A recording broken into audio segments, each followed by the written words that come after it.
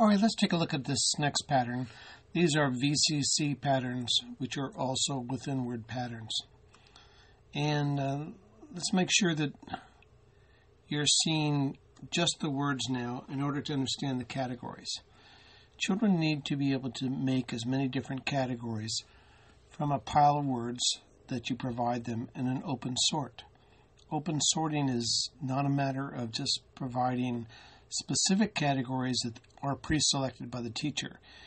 Instead, the open sort allows children to choose sorts based on their understanding, understanding of the words that are available, and they make as many different categories and subcategories. So let's have our focus right here.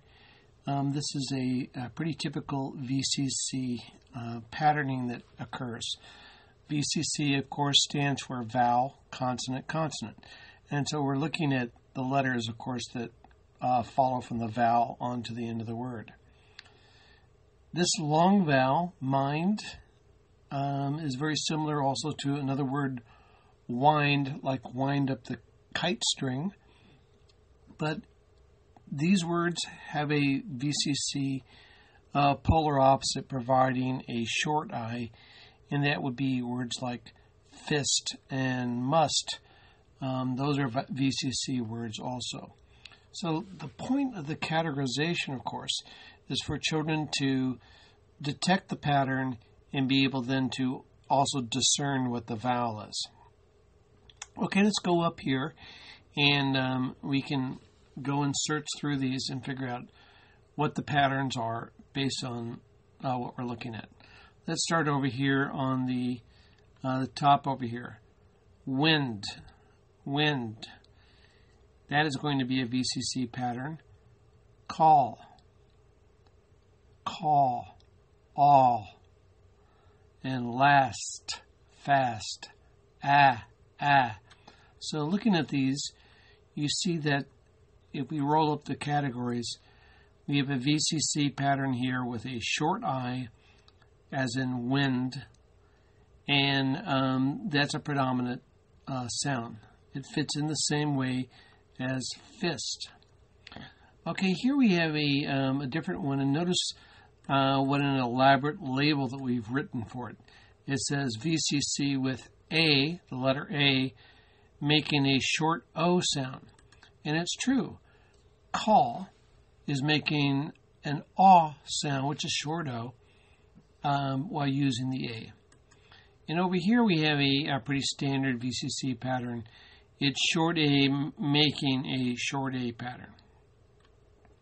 Okay, so out of um, all of these words, you can see that we've been able to discern categories.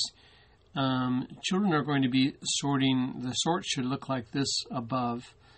Um, when the teacher comes around and talks to the student or has a small group at a table, the teacher just simply says, Well, tell me about this pattern. What are you seeing? What type of vowel is in these words. Let's take a look at these words. A little bit more complex. Let me move uh, this batch over here toward the middle. And notice how we have all sorts of uh, different vowel sounds here. Starting in the left, sink, tank, gold, cost, and tomb. Being able to discern these patterns because they look so much like uh, everything else. Um, let's start with a tricky one here for sink. A long I sound is going to have an I sound. Um, I says its name. This is not sank. Um, if I say it that way, it sounds like I have a strange British accent.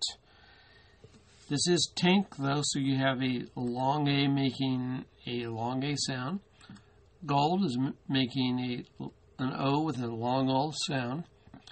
And cost and lost are uh, very clear cut uh, short O's, making short O sounds. And then we get this uh, really an oddball tomb. And tomb is a uh, an O making a long U sound. So let's take a look at the labels.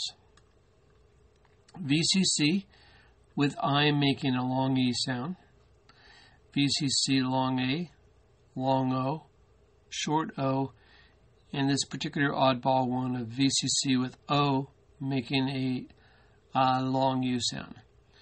All right, well, one thing that I want to point out to you is that you should be able to see then that the issue of um, words that don't have their expected sound is almost always going to be a within word pattern.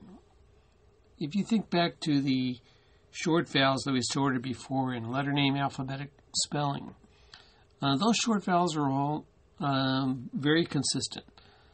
Those CVC words uh, don't change. But the way in which these vowels change requires children to sort them into different categories. And therefore, the way in which children can detect the words and their sounds and find as many categories as there are differences, that is a sign of strength.